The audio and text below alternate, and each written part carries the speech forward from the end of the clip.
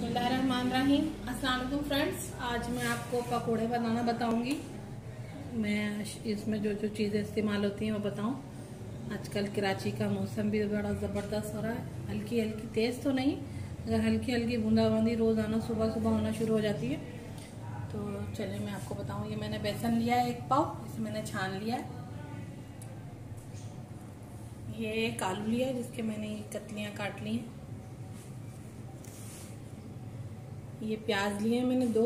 इसे भी मैंने गोलाई से काट लिया है बारीक बारीक। ये मैंने एक बैंगन लिया है, जिसे मैंने धो लिया है। ये पालक है, इसे भी मैंने दो लिया ये हरी मिर्च, इसे हम काटेंगे बीच में से और मसाला भरेंगे इसमें। ये मसाले लिए हैं मैंने। वन टीस्पून नमक है, वन टीस्पून ज़ीरा, सफ़ेद, half teaspoon chaat masala लिया है मैंने। वन टेबल स्पून मैंने ये हरी मिर्चों का पेस्ट लिया है। थोड़ा सा मैंने हरा धनिया लिया इसे मैंने धो के काट लिया ये मैंने रेड चिली लिए ये क्रश है, और ये थोड़ा सा मैंने धनिया लिया साबत। सूखा धनिया जिसे मैंने थोड़ा सा कूट लिया है। और ये मैं मिर्चों में भरूँगी, ये मैंने खटाई ली है। One teaspoon half teaspoon मैंने चाट मसाला लिया है। और ये मैंने मसाला लिया है धनिया, उसे मैंने अच्छा पीसा हुआ है, उसमें थोड़ी सी सौंफ है। और बस ये मैंने पीस लिया है इसको अच्छे से। और ये हाफ़ टी स्पून मैंने नमक लिया ये हम मिर्चों में भरेंगे। और इस पानी से हम इसका बैटर तैयार करेंगे पकौड़ों का। इसमें मान रहे हैं अब हम पकौड़ों का बैटर तैयार करेंगे। मिर्चें, कुटा हुआ धनिया, नमक, ज़ीरा और थोड़ा सा चाट मसाला। हरी मिर्च का पेस्ट है, ये भी शामिल कर दें और ये थोड़ा सा हरा धनिया। इसे घोल लेते हैं। और इसे ज़्यादा पतला नहीं करना हमें। थोड़ा थोड़ा पानी डाल के घोलते हैं।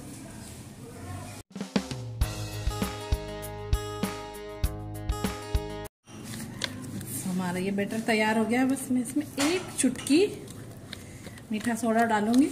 एक चुटकी ज़्यादा नहीं। जब मैं तलूँगी जब डालूँगी। तो अब हम इसे साइड पे कर देते हैं।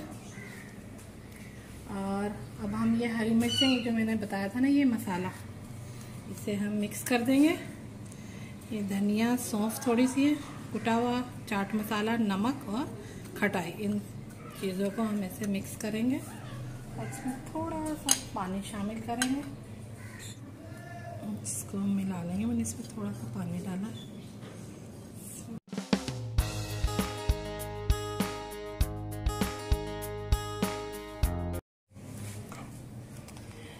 है ये पालक को मैंने इस तरह से काट लिया इतना। डंडी उतार दी इसकी। और ये देखें इस तरह से। और ये बैंगन को मैं गोल गोल काटूँगी और जिस वक्त तलूँगी उसी वक्त काटूँगी। हरी मिर्च को ऐसे पकड़ना और ऐसे बीच में से काट लेना। अगर आप इसके बीज निकालना चाहें तो इसके बीज निकाल लें और थोड़ा सा मसाला लें और ऐसे इसमें भर दें।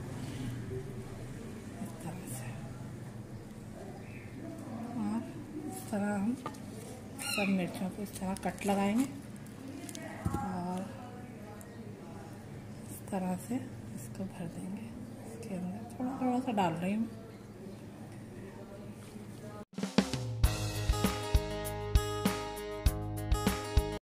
आज हम मध्य ही रखेंगे।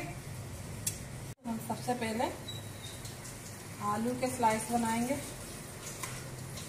बेटर में इस तरह आलू को डिप करेंगे और ऐसे इसमें डाल देंगे।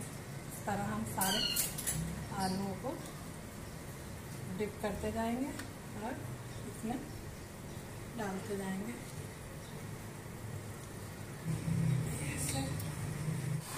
सारे आलू मैंने डाल दिए। हल्का सा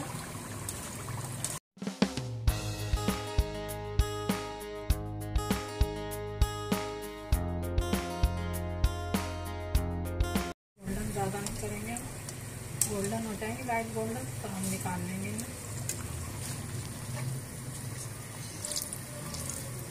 लाइट गोल्डन हो जाएँगे दोनों तरफ़ से। तो हम ऐसे पलट पलट के देखते रहेंगे। और फिर किसमें रखना रहे अब हम इन्हें निकाल लेंगे। ये गोल्डन हो गए हमारे आलू के पकौड़े।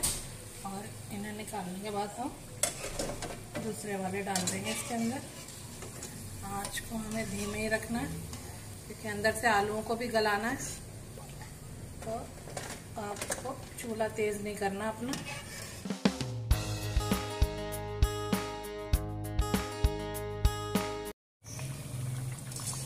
ये भी आलू के पकोड़े हो गए हमारे, ये भी निकाल लेंगे अब हम पालक के बनाएँगे।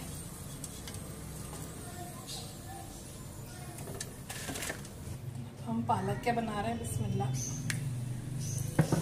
हम सबको। बैटर में लिख कर करके। पूरे साबुत पत्ते बनाने हमने। तरह बनाएँगे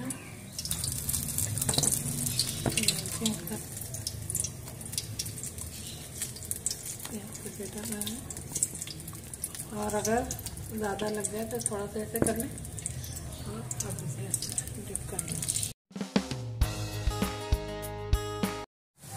अब इसकी साइड चेंज कर देंगे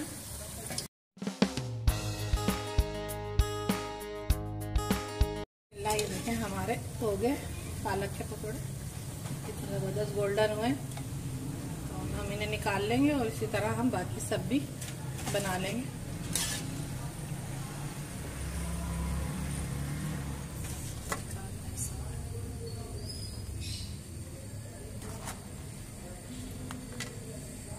बैटर में बैंगन को ऐसे डिप करेंगे और इस तरह डालते जाएँगे।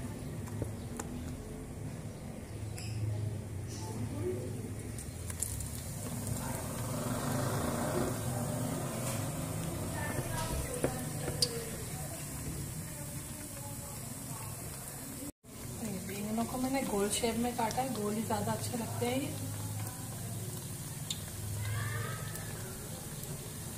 हम सब बना लेंगे, आप रमज़ानों में बनाइएगा ये सारे वेजिटेबल के।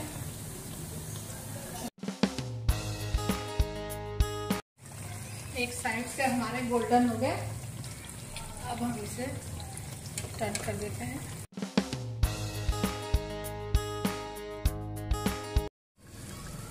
के पकोड़े भी देखें, हमारे कितने ज़बरदस्त हो गए गोल्डन अभी इन्हें भी हम निकाल लेंगे। अभी मैं फ्राई कर लूँ।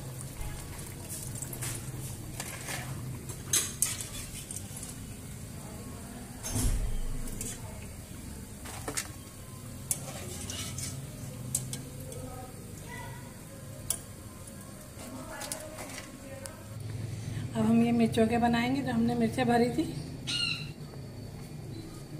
अब इसे ऐसे अच्छे से डिप करेंगे बेसन में हाँ।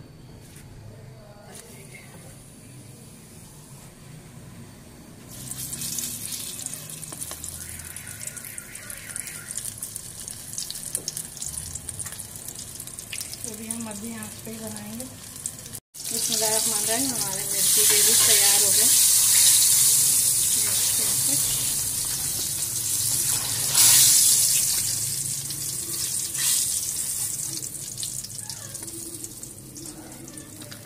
ये प्याज है, इस तरह गोल काट लिए मैंने, और इनको ऐसे डिप करके बेसन में। और ये देखिए, इस तरह बनाएँगे। ये अनियन के रिंग हो गए हमारे। ये भी बहुत ज़बरदस्त लगता है। बिस्मिल्लाह है, ये हमारे अनियन रिंग भी तैयार हो गए। ये देखिए ज़बरदस्त बने इन्हें भी हम निकाल लेंगे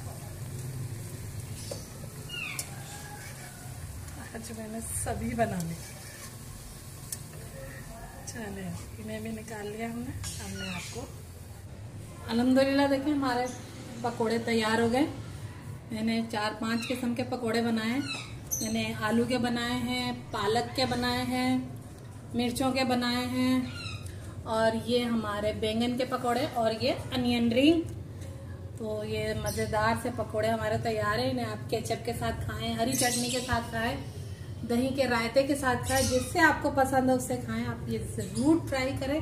आजकल कराची का मौसम भी बड़ा ज़बरदस्त हो रहा है। तो आप ये पकोड़े पकोड़ों की रेसिपी ज़रूर बनाएँ। और रमज़ान में भी मैं इसी तरह से बनाती हूँ इफ्तियारी में। तो आप भी रमज़ान में भी बनाइएगा इस तरह से। और अगर आपको यह हमारी रेसिपी पसंद आई है तो हमारे चैनल को सब्सक्राइब करें। बेल को प्रेस करें लाइक करें शेयर करें दोस्तों से। अल्लाह हाफिज।